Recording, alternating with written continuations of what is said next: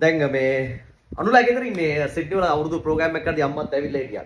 දැන් අම්මා අර ප්‍රෝග්‍රෑම් එකේ කිව්වේ මට පුතා රජෙක්. අම්මට ඇත්තටම කොයිතරම් සතුටුයිද?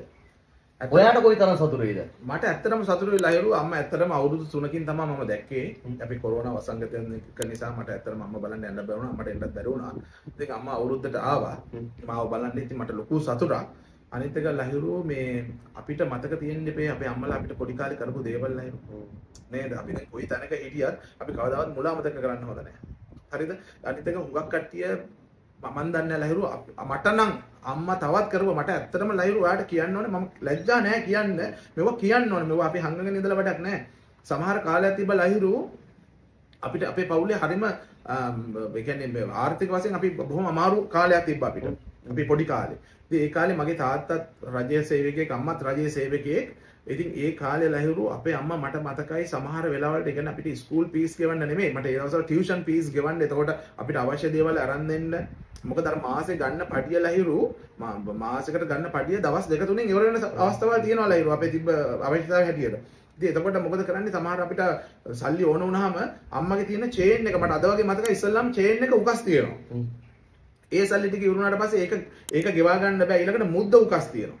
ඊළඟට කරාමුදේක උකස් තියෙනවා. නමුත් අම්මා රජයේ සේවකයෙක් නිසා මට මතකයි අර ඉමිටේෂන් නෙව දාගෙන අරව එකින් එක එකින් එක ආපහු ගන්නකම්. සමහරලාට මට මතකයි මේක තේරෙන කට්ටියට තේරෙයි. සමහරලාට අර සල්ලි ටික ගන්න නැති නිසා මට මතකයි පොලිය බඳිනවා. ඒක අර සින්න වේ කියලා.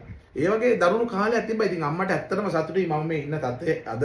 එයාගේ සතුට මට මට හිතෙනවා ලයිරු ඔයාටත් කිව්වනේ අනිවාර්යයෙන්. ඔව්. ඒකයි මේ දැන් දෙයක් තමයි පහුගිය පාර ප්‍රෝග්‍රෑම් එක කරාට පස්සේ දැන් මගෙන් ගොඩක් දෙනෙක් මට පර්සනලි කතා කරනවා කියන දෙයක් තමයි එහෙම ක්ලීනින් කරලා මේ වගේ මල්ටි බිලියනර් කෙනෙක් වෙන්න පුළුවන්ද? දැන් ක්ලීනින් කරන කට්ටිය අපි දැකලා තියෙනවා. එහෙම මේ මේ වගේ ගේම් එකක් ගහන්න බෑ ක්ලීනින් කරලා. ඕ ලහිරු මේ වගේ ගේම් එක ක්ලීනින් කරලා ගහන්න පුළුවන්. හරිද? ඉතින් ඒකට කැපවීමයි උත්සාහය හැමදේම තියෙන්නත් ඕනේ. තමන්ට තියෙන ටැලන්ට් එක තියෙන්නත් ඕනේ. හරිද? එහෙම නැතුව මේක කරන්න අමාරුයි අත්තර මේකයි සම සමහරු හිතනවා මම අරවා විකුණනවා කුඩු විකුණනවා මෙව විකුණනවා ඒ වගේවත් කියලා. ලහිරු මේ රට ඕස්ට්‍රේලියාව. හරිද? මම අර එක උදාහරණයක් කියන්න. ඉතින් මං ගාව තියෙන එක කාර් එකක්. ඔයා RT එකේ ගිහලා රෙජිස්ටර් කරපුවාම ඒගොල්ලෝ සම්පූර්ණ මගේ හිස්ටරිය දන්නවා හිස්ටරිය දන්නා මෙයාට සල්ලි තියනවාද? මෙයා ආදායම් මාර්ගය මොකද්ද? ඒගොල්ලෝ දන්නවා ලයිරෝ මේ ඕස්ට්‍රේලියන් ෆෙඩරල් පොලිසිය සේරම අපිව චෙක් කරනවා. ඉතින් ඔය ඒක නිසා ඔය මෝඩකමට එක එක කතා කියනවා. අපි ගණන් මම ගණන් මම නම් ගණන් ගන්නෑ නමුත් ඒක තමයි නමුත් දියුණු වෙන්න පුළුවන්. ඔයා කියන්නේ අනිත් එක ලයිරෝ මට තව එකක් කියන්න ඕනේ.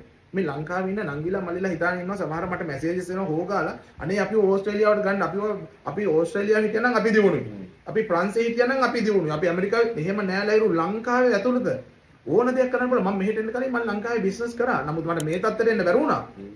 නම් අපි යම් කිසි දෙයක් කරා ලයිරු ඒකයි අනිත් එක තමයි ඉතින් මෙහෙට ආවිල්ලා ඉන්න දැන් ස්කිල් වීසා වලින් එන්න මයිග්‍රේට් කරලා තියෙන අපි කියන ප්‍රොෆෙෂනල් ජොබ් වලට එන කට්ටිය ලංකාවේ හොඳට ඉගෙනගෙන මහන්සිලා ඉගෙන ගන්න මහන්සි වෙනවා. ඉංජිනේරවරු ඊට පස්සේ ડોක්ටර්ස්ලා සොෆ්ට්වෙයාර් ඉංජිනේර්ස්ලා වගේ කට්ටිය අනිත් අනිත් වෘත්තීන්වල සෑහෙන මහන්සිලා. ක්‍රීඩකයෝ නම් අවුවේ ඉඳලා ක්‍රිකට් ගහලා මහන්සි වෙලා. ඊට පස්සේ ඒකේ සක්සස් එක තමයි මෙහෙට එන්නේ. මෙහෙට එන්නේ ලයිරු ඉතින් ඒක නිසා අපි මේ ලෝකේ කොයි හිටියත් අපි ගේම් එක ගහනවා නම් ගේම් එක ගහනවා ලයිරු